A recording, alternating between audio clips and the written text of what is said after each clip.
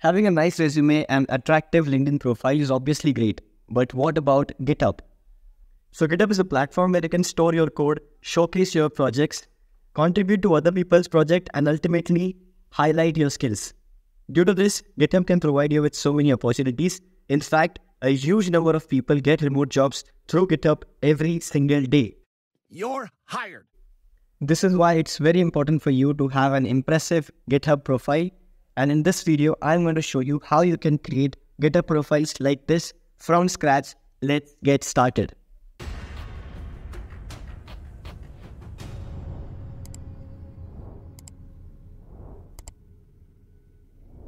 Alright, so I'm here on my computer screen and let's start with creating an awesome GitHub profile for you like this or like this.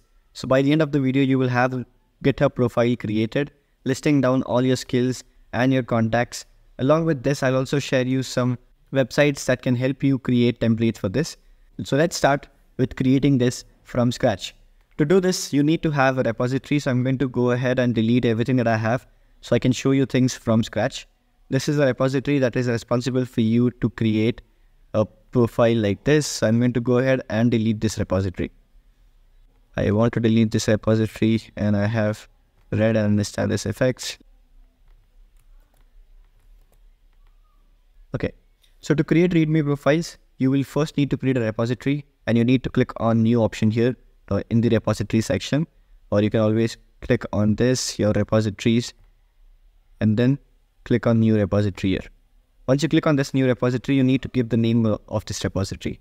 And for the name, you need to choose your own username. So for me, the name is N4SI, which is Nasi. So I'll say N4SI.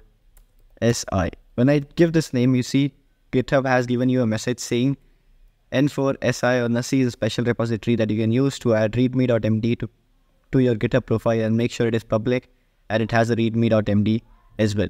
So let's type a description. Let's say hello world hello world this is my profile something like this i'll make it public you will have to make your profile public so that it can be shown everywhere and it's also mentioned here so it should be public and it should have a readme.md so i'll go ahead and add readme.md now when everything is done you need to click on create repository button here and this will start creating your repository and once the repository is created you see uh, there's a sample readme.md and you can edit this readme.md to showcase your public profile so I'm going to go ahead and click on this pencil symbol and this will give me a template on what things I can add. So you can see there are some templates here that you can add. Uh, but to make things more easy, you can either use ChatGPT to help you out or you can use different websites. So I have a website here that can help you. So this is the website that you can use to create your uh, readme.md. Let me show you how it works. So I'll share the link of this this website in the description box. You need to put your, all your details. So I have my name is Nasiullah Chaudhari. I'm a passionate DevOps engineer.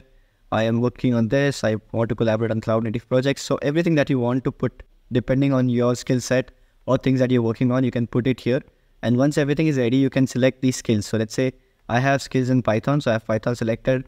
I have skills in uh, Ruby as well. So I've selected that. I have uh, front-end development. I have used React. So let's choose React here. I also have HTML and CSS knowledge. For backend, I've used Node.js, Kafka, Nginx, RabbitMQ, and Hadoop, as well as GraphQL. So I've selected those. For mobile development, I've used uh, Android and React Native here.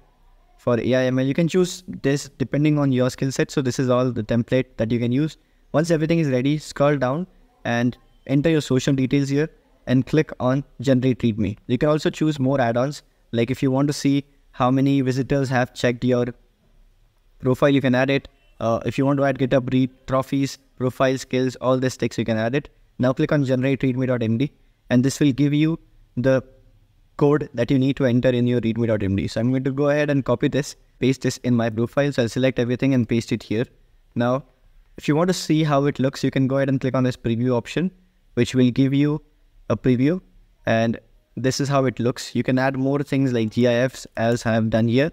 So I have a GIF entered this is what the code gives you and you can add more things in it you can try to customize or add gifs or videos images you whatever you like in your github profile uh, now another website that can help you create something like this is profile readme.generator that i'll be sharing you the link for in the description and you can see in this you have a GIF and also a game. So if you want to get the code, you can click on generate readme option and this will give you the code for it along with the uh, GitHub workflows that, that makes the app run.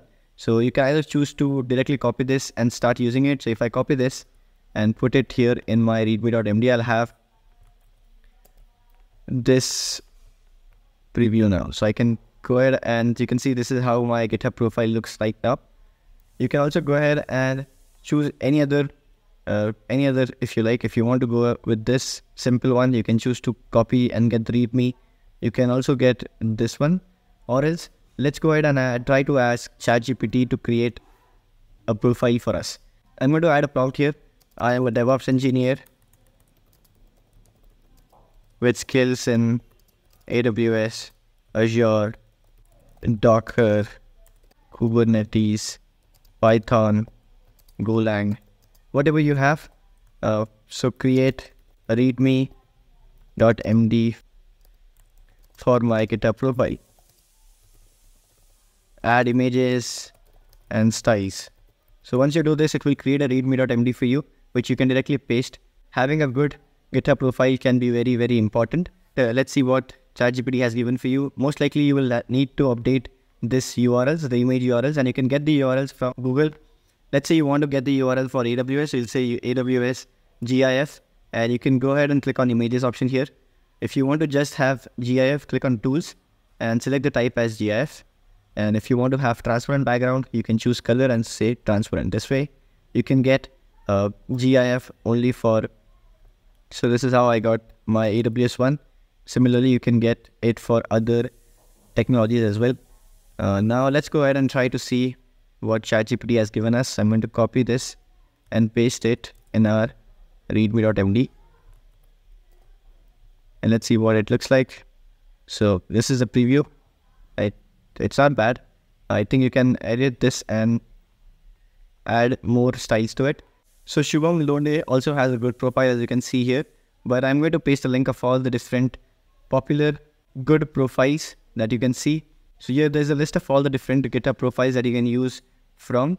Uh, all of them are very impressive. So you can see this is a good profile that you can use. So, and I'll paste the link for this GitHub, which has all the list of awesome readmes uh, in the description. So make sure you check it out. So once you have selected what you want to go with, for example, I'm going to go with this GitHub README and let me show you the preview here. So this is what I want to use for my particular account. I can go ahead and click on commit change. Once I click on commit change, I need to add a commit message and say commit changes. And now when you see my profile now, so rather than having a boring profile, now I have a good profile that showcases all my things.